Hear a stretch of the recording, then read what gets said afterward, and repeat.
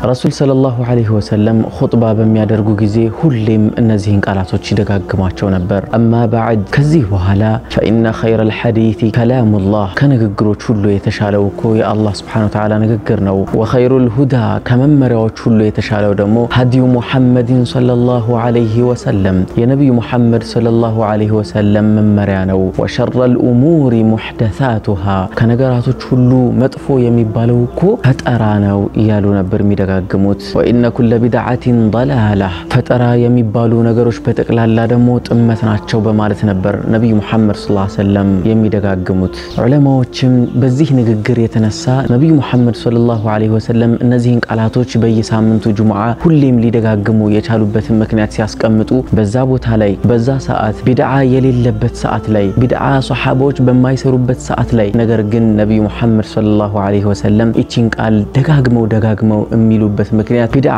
ፈጠራ ምን ያክል ከባድና ኃይለኛ ወንጀል እንደሆነ ለማሳየት ነው በማለት ዑለማዎች ያስቀምጣሉ። ነዓም በነቢዩ ሙሐመድ ሰለላሁ ዐለይሂ ወሰለም ጊዜ ሰሓባዎች ቁጭ ብለው በጁምዓ ኹጥባ ላይ እያዳመጡ በነበሩበት ሰዓት ቢድዓ ፈጠራ የሚባል ነገር አልነበረም። ነገር ግን ነቢዩ ሙሐመድ ሰለላሁ ዐለይሂ ወሰለም በየኹጥባቸው መግቢያ ላይ እነዚህን ቃላቶች ይደጋግሟቸው ነበር። ታዲያ ምን ያክል የከፋ ቢሆን ነው ይሄ ፈጠራ የሚባለው ነገር? ነቢዩ ሙሐመድ ሰለላሁ ዐለይሂ ወሰለም በየሳምንቱ ወሸረል ኡሙሪ ሙሕደሳቱሃ ከነገራቶች ሁሉ መጥፎ ማለት ተንኮል መጥፎ የሚባለው ሙሕደሳቱሃ ፈጠራዋ ናት በማለት ለምንድን ነው ደጋግመው ሊናገሩ የሚችሉት? ምን ያክል ከባድና አስከፊ እንደሆነ ለማሳየት ነው። ይህንን የነቢዩ ሙሐመድ ሰለላሁ ዐለይሂ ወሰለም ሀሳብ ሁላችንም ጠንቅቀን ልናውቅ ይገባናል። ወዳጅ ሆይ በውስጥህ የሚያጠራጥር የሆነ ነገር እያለ ዒባዳ ነው በማለት ለመተግበር አትሞክር። ውስጥህ ላይ ጥርጣሬዎች ካሉ ያንን ነገር ልትርቀው እንጂ የሚገባው ያንን ነገር በማጽደቅና ዒባዳ ነው ብለህ ራስህን ልትሸውደው አይገባም። ምክንያቱም ነቢዩ ሙሐመድ ሰለላሁ ዐለይሂ ወሰለም ከተናገሯቸው ሐዲስ መካከል አንዱ በውስጥህ አጠራጣሪ የሆኑ ነገሮችን መራቅህ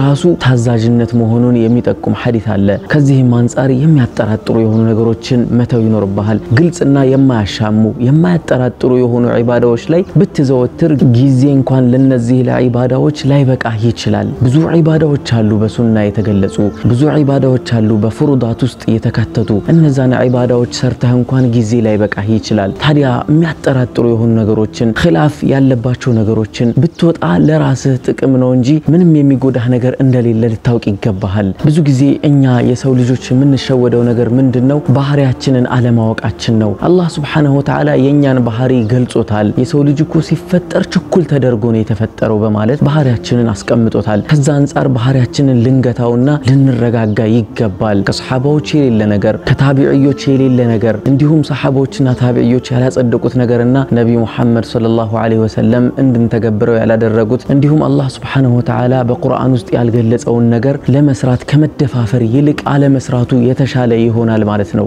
አላህ ሱብሓነሁ ወተዓላ ደግሞ ዲናችንን ሙሉ አድርጎልናል። አንድን ተግባር ለመተግበር አንድን መልካም ነገር ለማድረግ መቼና እንዴት መደረግ እንዳለበት ሳይቀር አላህና ነቢዩ ሙሐመድ ሰለላሁ ዐለይሂ ወሰለም ግልጽ አድርገዋል። ሰሓባዎችም በተግባር አሳይተውናል። ያ በቂያችን ነው። አንዳንዴ ራሳችንን ለመሸወድ የምንሞክርበት መንገድ በጣም አጥፊ ሊሆን ይችላል። ሰደቃን ለመሰደቅ፣ ሰዎች ጋር ለመገናኘት፣ አዝካሮችን እንዲሁም ሰላዋትን ለማውረድ ቀናትን መጠበቅ አስፈላጊ ላይሆን ይችላል። ሁልጊዜም ሰላዋት በረሱል ወሰለም ላይ ልታወርድ ትችላለህ። ሁልጊዜም ሰደቃን ልትሰድቅ ትችላለህ። ጊዜና ቦታ ላያስፈልገው ይችላል። ታዲያ አንድ ዒባዳን ስትሰራ ያ ዒባዳ ዒባዳ የሚባለው እኮ መነሻውም መድረሻውም ሙሉ ሲሆንልህ ነው ዒባዳ የሚባለው። ምናልባትም አንተ ሰላትን እየሰገድክ ነው እንበል፣ ዒሻ ሰላትን እየሰገድክ ነው። ነገር ግን የምትሰግድበት ጊዜ የዒሻ ወቅት ካልሆነ ዒባዳህ ሙሉ የተስተካከለ ሊሆን አይችልም። ቦታና ጊዜው ራሱ ዒባዳ ጋር አብሮ የተካተተ ነው። ዒባዳ ማለት ደግሞ ቢጣዓቲ ወሰምዕ ነው። በማዳመጥና በመታዘዝ ነው ዒባዳ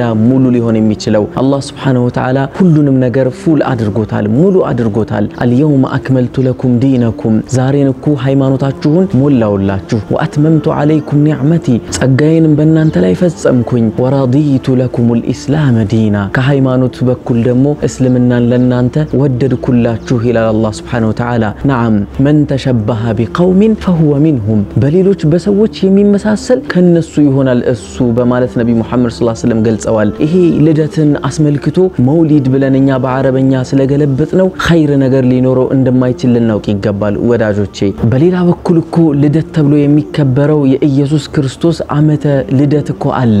ያንን አስመስሎ አሁን ደግሞ በእስልምና ወደ አረበኛ ቀየር ተደርጎ መውሊድ ተብሎ የመጣበት ሁኔታ ማለት ነው። ስለዚህ ከእንደዚህ አይነት አደጋዎች ራሳችንን መጠበቅ ይኖርብናል። ብዙ ጊዜ ማስረጃ አለ እየተባለ የሚጠቀሱ ማስረጃዎች አሉ። ነገር ግን እነዛ ማስረጃዎችን እንኳን እኛ ስንጠቅሳቸው ሐቂቃ በውስጣችን ላይ ሸክ እያለብን ነው ልንጠቅሳቸው የምንችለው። ምክንያቱም ከቤተሰቦቻችን መካከልም እነዚህን ማስረጃዎች እንደ ማስረጃ እያደረጉ እነዚህን የቁርአንና የሐዲስ አናቅስቶችን እንደ ማስረጃ ስለሚጠቅሱ ማለት ነው። እንደ ማስረጃ ሲጠቅሱ ስለምንሰማቸውና በኋላ ስንጠይቃቸው ውስጣቸው ላይ ሸክ እንዳለ ስለሚነግሩን ነው። ምናልባት በዚህ ቪዲዮ ብዙሃኖችን ቀልባችሁን ከሰበርኩት አውፉታችሁን እጠይቃለሁ። ነገር ግን ሐቅ የሆነ ነገር ከመገለጹ ወደ ኋላ ማለት የለበትም የሚል እምነትና አቋም ስላለኝ ነው መግለጽ ያለብኝ። ለምሳሌ ነቢዩ ሙሐመድ ሰለላሁ ዐለይሂ ወሰለም የተወለዱበትን ቀን በማስታወስና በመደሰት ጊዜ ብናበጅለት የሞቱበት ቀንም ሊረሳ አይገባም። ይሄን ስላችሁ የተወለዱበት ቀን በእርግጠኝነት እንኳን